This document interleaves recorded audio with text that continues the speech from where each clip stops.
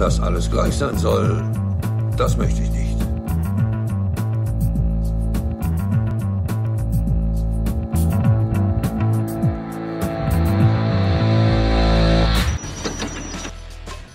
Hallo, hallo, schönen guten Abend, guten Morgen.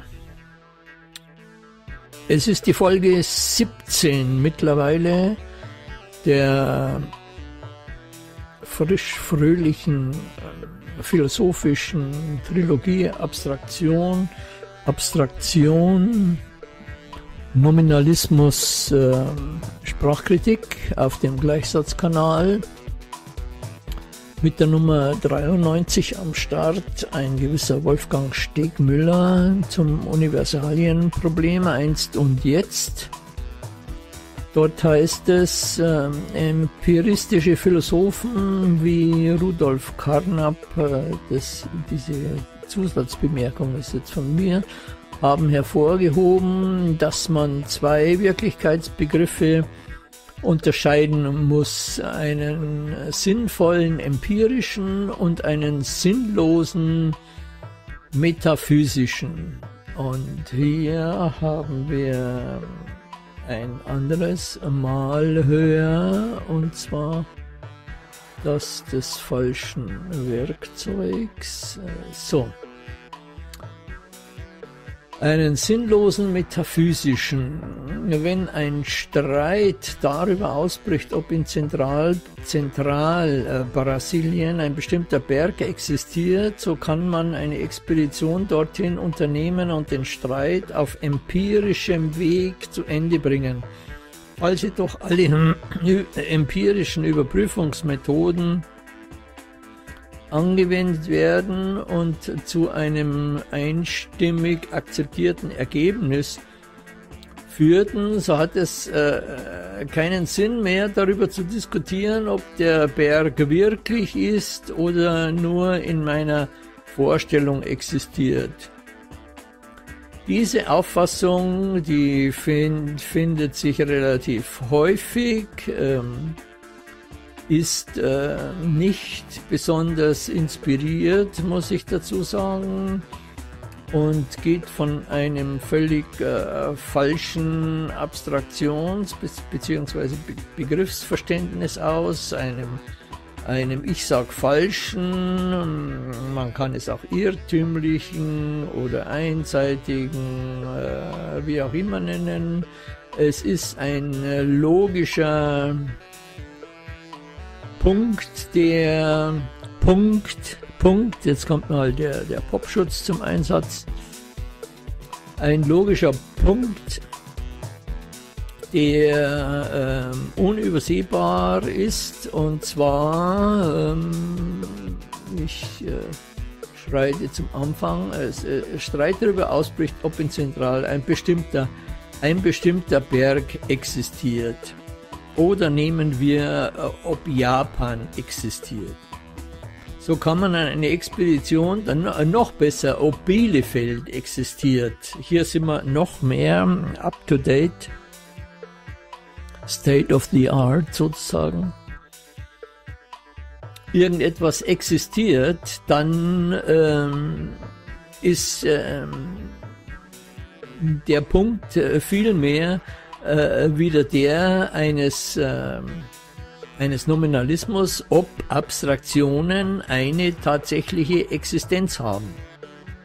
Und dieser Berg, da existiert an diesem Berg existiert nichts anderes als der Name, so wie es im Nominalismus heißt. Ich, es gibt nichts als den Namen.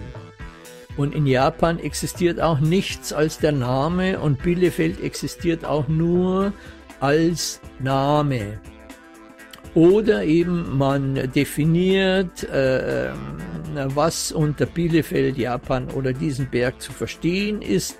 Dann äh, kann es sein, dass äh, dieser Berg schon äh, seit Jahrhunderten auf der Landkarte steht ähm, und deswegen dieser Berg äh, äh, existiert, aber ähm, hält genauso wenig einer Prüfung überstand äh, äh, stand als ähm, die Frage, ob Japan existiert, anders als ein, irgendeine willkürliche Definition, was unter Japan zu verstehen ist, entweder die Staatsgrenzen oder äh, äh, die Menschen darin und wenn die Menschen darin, was alles dazugehört, ja, einfach alles, ja.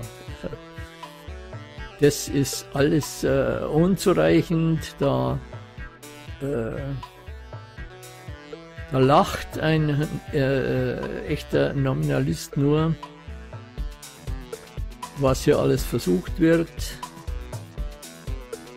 Äh, an sich eben an sich frei von diesen äh, ganz speziellen menschlichen Zumessungen gibt es nichts, äh, nicht so etwas äh, wie Bielefeld oder Japan oder irgendeinen Berg oder einen Hammer und, oder you name it. Und das ist der Punkt. Also hier, so hat es keinen Sinn mehr darüber zu diskutieren, äh, äh ob der Berg wirklich ist und nur in meiner Vorstellung existiert, das geht alles an diesem Punkt vorbei. Diese, dieses empirische, äh, dieses Erfahren, wie soll denn das äh, sein, sinnlich erfahren, einen Berg? Sicher äh, auf praktischem Weg, es macht es wenig Sinn, das abzustreiten, dass es sich hier äh, kann man, äh, wenn jetzt jemand sagt, dieser, der Vesuv äh, existiert nicht, ist natürlich Blödsinn. Und äh, wenn es jetzt darum geht, äh, dieses Gebilde mit dem Namen Vesuv ähm, von einem Elefanten zu unterscheiden, da ist das ganz klar keine Frage. Aber der Punkt ist der, dass es sich immer um Nützlichkeitserwägungen handelt und, und in keinster Weise um irgendeinen erkenntnistheoretischen Beweis der tatsächlichen Existenz. Äh, ich hoffe, ich habe mich hier deutlich genug ausgedrückt und, und kann mir jedes weitere Wort äh, sparen, um mich, äh, es gibt dann sicher wieder eine Gelegenheit, um, um an diesen Punkt, ich hoffe, meine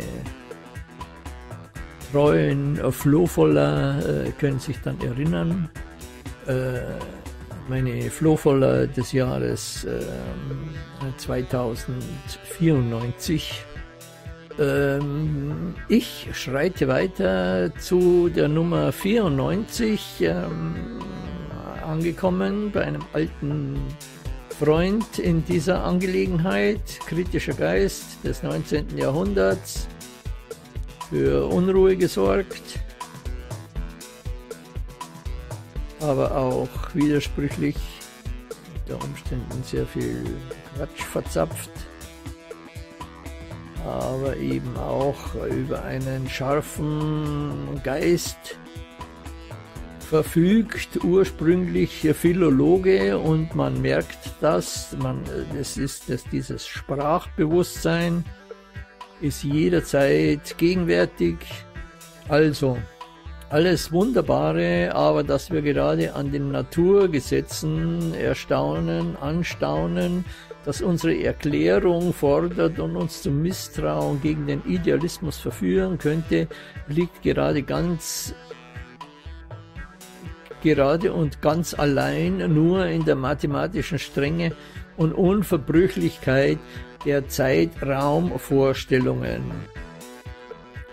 Diese aber produzieren wir in uns und aus uns und mit jener Notwendigkeit, mit der die Spinne spinnt, wenn wir gezwungen sind, alle Dinge nur unter diesen Formen zu begreifen.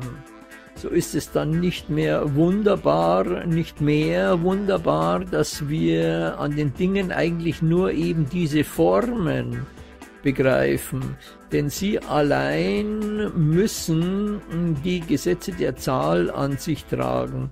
Und die Zahl gerade ist das Erstaunlichste und in den Dingen. Ähm, ja, die Unverbrüchlichkeit der Zeitraumvorstellung produzieren wir, wie die, wie die Spinne spinnt. Die ist, äh, ist ähm, permanent äh, dieses äh, Bewusstsein eines Raums und dieses Bewusstsein einer, einer Zeit. Hoppla, wenn jetzt nicht ähm, ähm, wenn jetzt, wenn sich jetzt das Ich nicht auflöst äh, in ein, ein, ein äh, in einem Interesse versunken sein jenseits von Zeit und Raum, ähm, davon abgesehen, ist mit dem Be Bewusstsein heißt im Grunde genommen nichts anderes als sich äh, einer, einer Zeit und eines Raums bewusst zu sein, in erster Linie einmal. Und äh, diese Zeit-Raum-Vorstellungen äh, sind ja, äh, diese Vorstellungen sind ja geteilt in Einheiten.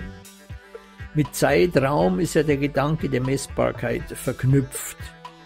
Und das ist da, dann das Erstaunlichste in den Dingen, äh, und zwar wie die Zahlen in die Dinge reinkommen. Äh, von Nietzsche jetzt äh, etwas anders formuliert, Erstaunlichste in den Dingen, aber äh, der Punkt ist der, wie die Zahlen überhaupt mit den Dingen in Verknüpfung kommen. Hier formuliert er das so, dass die Zahl in den Dingen drin sind, dass eben das gemeint wird oder, oder es in der Natur des Menschen sozusagen liegt, äh, mit einer Notwendigkeit, wie die Spinne spinnt, ähm, dass Zahlen das Abzählen eine eine äh, ganz äh, ursprüngliche Verhaltensweise darstellt, zumindest äh, äh, das Abzählen der Eins, dass man immer weiß, das ist hier ein Ding, ein Gegenstand und nicht mehrere Eins, Eins, Eins, alles abgetrennt. Dieses Formen, äh, Einheiten bilden, ähm, gilt für die Zahlen genauso wie für Wörter. Und äh, hier muss man sich im Klaren sein, dass eben von wissenschaftlicher Seite her oder mathematisch, mathematischer Strenge sogar äh, äh, da immer ein, äh, das alles fraglich ist in, in Bezug auf die Geltung, in Bezug auf die an sich Geltung, muss ich sagen, weil eine praktische Geltung ist ja nicht abzuweisen, weil die ja sinnvoll ist, irgendetwas zu messen, äh, um bestimmte Zwecke zu verfolgen, sich Einheiten zu schaffen, die sozusagen wie ein Vertrag sind, dass jemand anderer auch mit diesen Einheiten arbeitet und man dann sagen kann, ja, äh, diese Einheiten sind bei mir die gleichen wie bei dir, also äh, kann ich jetzt sagen, ähm, schneide von diesem Brett jetzt 20 Zentimeter. Und da kann man dann davon ausgehen, dass eben ein Brett, das äh, die richtigen Maße hat, dann im nächsten Ort landet, äh, um zu äh, einer Kommode verbaut zu werden oder was weiß ich. Und äh, was hier äh, als Gesetz da so hochgejubelt wird, das ist nichts anderes als, sind nichts anderes als die Gesetze der Brauchbarkeit oder des Nutzens, aber nicht die Gesetze der Wahrheit oder der Erkenntnis oder des Wissens. Das darf nicht verwechselt werden. Gut, dann der Altmeister David Hume hier äh, in, der, in einer ähnlichen Richtung, Qualität, Quantität. Die abstrakte Vorstellung eines Menschen repräsentiert Menschen äh, von allen möglichen Größen und allen sonstigen Eigenschaften. Man schloss, dass dies nur möglich ist, wenn sie entweder alle möglichen Größen und Eigenschaften zugleich oder überhaupt keine bestimmte Eigenschaft repräsentiert. Also die, vor, die abstrakte Vorstellung eines Menschen, sprich der Mensch an sich. Da man es nun für ungereimt hielt, die erstere Annahme zu machen, dass alle Menschen äh, alle möglichen Größen und Eigenschaften zugleich haben, ungereimt äh, die erstere Annahme zu machen, weil dieselbe ein unbegrenztes geistiges Vermögen voraussetzen würde, so hat man sich gewöhnlich für die letztere entschieden, haben keine bestimmte Eigenschaft. Man nahm also an, dass unsere abstrakten Vorstellungen überhaupt keinen bestimmten Grad weder der Quantität noch der Qualität in sich schließen. Und so schaut es eben aus mit dem, eben, eben mit dem Menschen an sich.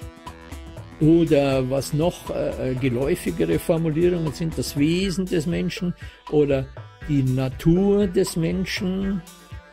Und hier haben wir es beim Menschen an sich mit, äh, dieser Mensch ist weder Mann noch Frau, noch Kind noch äh, äh, Bartträger, noch äh, blond, noch weder, weder dick, noch dünn. Äh, es, er, er hat im Grunde genommen keine Eigenschaften, dieser Mensch, außer man, äh,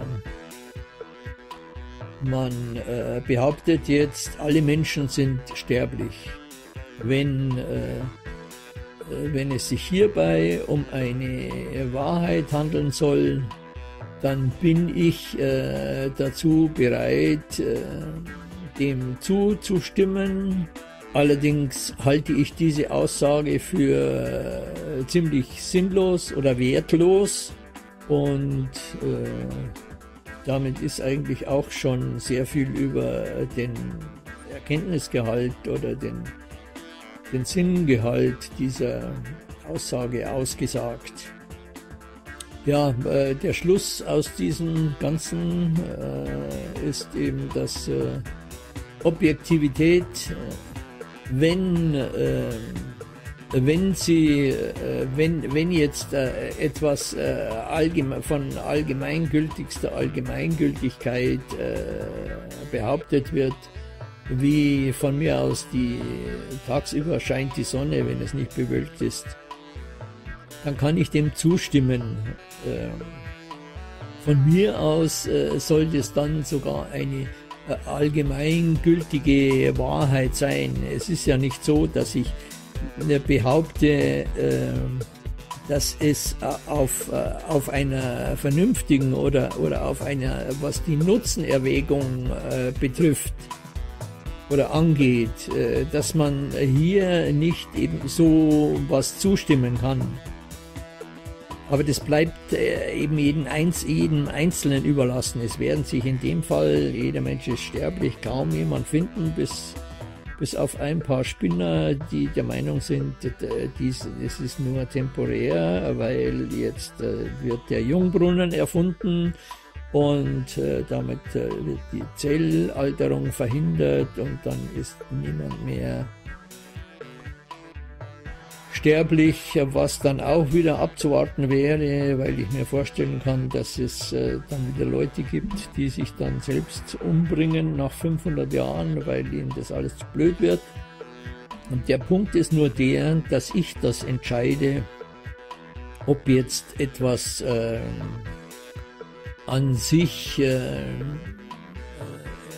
zu gelten hat oder nicht. Also in dem Sinne äh, könnte ich die Einschränkung machen, so wie es äh, das Sprichwort gibt, es, es gibt nichts, was es nicht gibt. Also gibt es auch, äh, gibt es in diesem Sinn auch äh, etwas Allgemeingültiges, kann es von mir aus geben. Aber das ist sowas, sowas von, äh, sowas äh, von trivial dann, diese Wahrheiten oder dieses Wissen und sowas von nutzlos und auch sinnlos, dass sich äh, da eigentlich jede weitere Diskussion erübrigt. Ob man jetzt wirklich sowas behaupten will. Aber wenn sich jetzt äh, jemand überhaupt nicht davon abbringen lässt, dann sage ich, damit ich meine Ruhe habe, sage ich, na gut, na gut, dann stimme ich dir zu. Aber ansonsten hat, haben solche Aussagen überhaupt keine Bedeutung. Gut, dann äh, will ich mir nochmal Überblick über, äh, verschaffen. Knappe acht Minuten heißt es da. Da geht noch einiges. Wie zum Beispiel die Nummer 96 und ein Schluck aus der Tasse. Und nochmal kurz Product Placement. Schwesterkanal Ultima Ratio 101 und die 101 nicht vergessen, denn Ultima Ratio äh, gibt es auf YouTube wie Sand am Meer.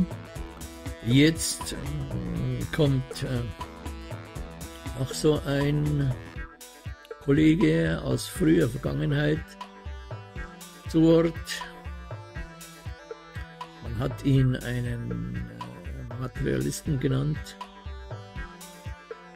Oder den Erfinder des Spruches, der Mensch ist des Menschen Wolf, einen Antisozialisten, der Mensch sucht die Gemeinschaft nur entweder um seines eigenen Vorteils willen oder des Ruhmes wegen, äh, wie Hobbes das bezeichnet, also der gegenseitigen Wertschätzung und äh, sich Honig ums Maul schmieren und dergleichen. Aber hier kommt er in seiner Eigenschaft als Nominalist zu Wort mit dem äh, mit der Proposition so sind denn die Fähigkeiten des Geistes nur Künste. Der Worte hatten wir schon mal gehabt die Technik äh, Sprache als Kunst bei Gustav Gerber die Fähigkeiten des Geistes nur Künste der Worte und die Vernunft ist nichts anderes als Rechnen mit Namen. Äh, das ist äh, jetzt äh, sehr nüchtern, aber äh, hat recht, der gute Mann. Also ich gebe ihm recht was äh, gemeinhin, wie diese Worte ohne Sprachbewusstsein benutzt werden, eben als äh, Identifikationsmuster rein ist ein reines äh, Hin- und Herschieben, ein Aufaddieren von Begriffen in der formalen Logik, wo es nur um äh, die, das Allgemeine geht, wo alles nur so pauschal besprochen und äh, abgehandelt wird. Das ist nichts anderes als ein Rechnen mit äh, Worten oder mit Allgemeinnamen da kann man sich ein gegenseitiges Verständnis suggerieren, schaut so aus. Scheinbar ist es nur, aber die, die Verbindung, das Wunderbare, die Zahlen, in, äh, das Erstaunliche in, in, in den Dingen, äh, wie das Wort äh, in, in das Ding kommt und die Zahl in die Dinge kommt das bleibt weiter ein Wunder, schwebt über der allergrößten Selbstverständlichkeit und Natürlichkeit, Blindheit, muss man sagen, der Nebel, in dem sich die Geister befinden, gefesselt,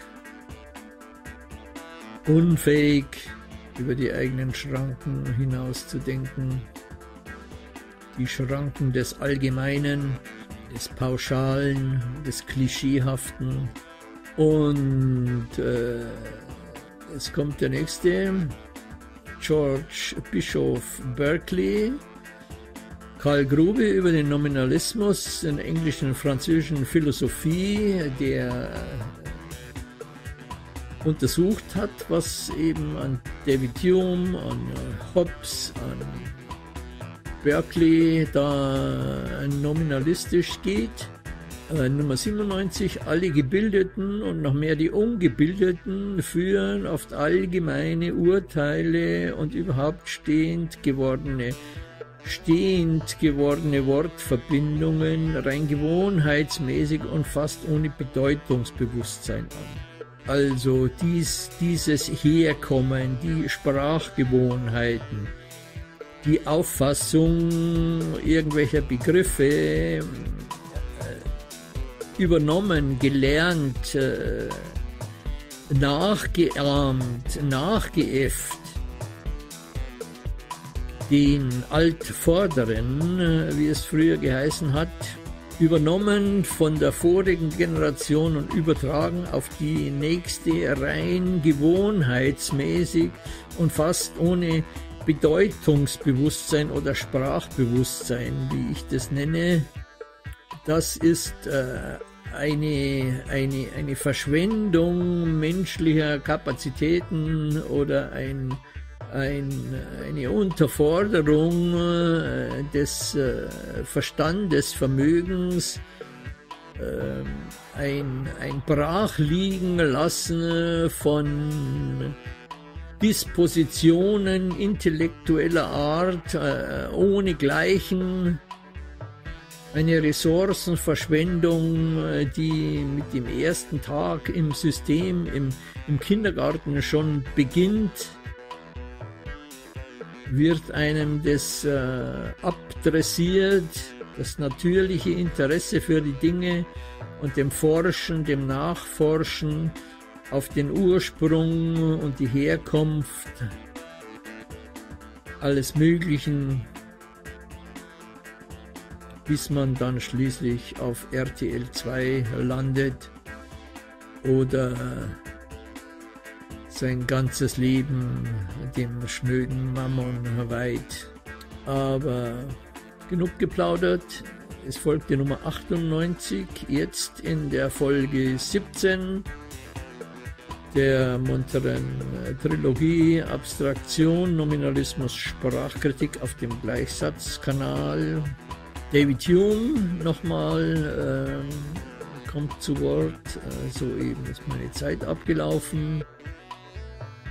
Es ist klar, dass wir bei der Bildung der meisten Allgemeinbegriffe, wenn nicht bei allen, äh, von jedem besonderen Grad der Quantität und Qualität abstrahieren. Das war in der größeren Passage äh, schon mal äh, der Punkt. Deswegen brauche ich mich jetzt hier nicht mehr äh, groß aufzuhalten. Also diese Besonderheiten an, an, an Quantität. Quantität spielt nur insofern eine Rolle, dass es sich eben dass es sich um Allgemeinheiten handelt und äh, es äh, Allgemeines immer Quantitatives ist, immer, immer ein Mehr äh, die, der, das Kriterium der, dieser Angelegenheit. Und äh, von Qualität im Sinne eines besonderen, individuellen, äh, unvergleichlichen, ist äh, in der Allgemeinheit nichts äh, mehr vorhanden. Und äh, ich hänge nochmal mein Credo, zu guter Letzt nochmal mein Credo an, dass nichts gegen Allgemeinbegriffe gesagt ist, wenn sie nicht mit äh, Wissen und Erkenntnis in Verbindung gebracht werden. Also keine Art äh, von logischer Geltung damit gemeint ist, sondern nur nützliche Hilfsbegriffe darstellen, um äh, ganz äh, willkürliche Interessen zu verfolgen. Das ist der Punkt und das ist der Paradigmenwechsel, äh, der sich in, in dem Dogma, äh, in dem Dogma gipfelt. Es ist nichts gegeben. Äh, das ist eingetragen im Reisepass, im Reise, Reise Gewerbeschein, Reisegewerbeschein steht, es ist nichts gegeben und so werden wir ausscharen in die Lande und die Kunde verbreiten. Aber für heute ist Schluss. Peace und out.